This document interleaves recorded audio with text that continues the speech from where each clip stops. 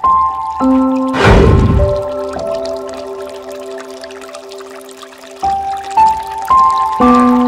you.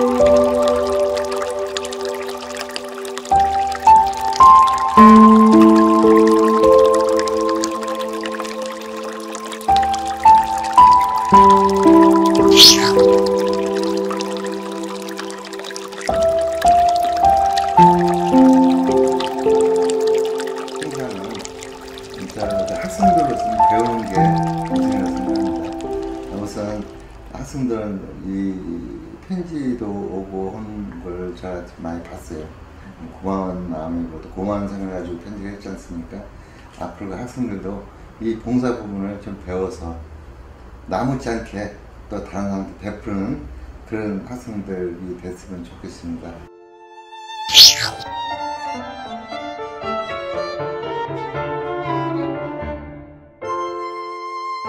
우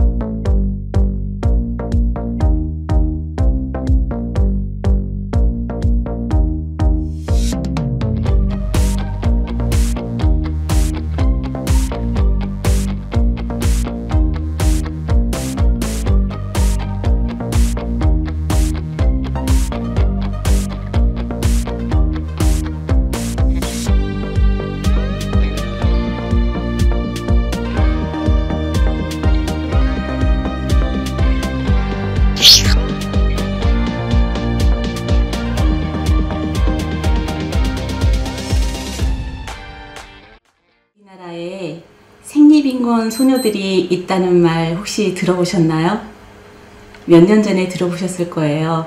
그런데 아직도 생리빈곤 소녀들이 많이 있다고 하네요. 그래서 흔한 열매 나눔 캠페인이라는 곳에서 생리빈곤 소녀들을 직접 돕고 있다고 해서 소개해 드리려고 합니다. 생리빈곤 소녀들이 무슨 얘기냐고요?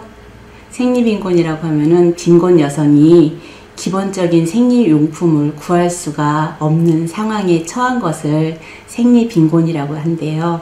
그래서 이런 소녀들이 어린 친구들이 생리대를 구매할 수가 없는 상황에 처해 있다고 해서 이런 친구들을 찾아서 도와주는 그런 단체가 바로 흔한 열매 나눔이라고 하네요. 근데 이게 3개월에 한 번씩 진행을 하는데 벌써 네 번째 행사를 진행한다고 합니다.